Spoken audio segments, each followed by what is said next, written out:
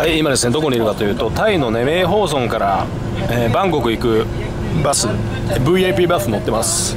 で今名宝ンから2時間ぐらい来たところかな。3時間ぐらい来たところいます。街がちょっと名前わかんないんですけど VIP バス乗ってるんですけどこちらが中です。でまあこんな感じで食事がね一応提供される感じなんですけどね。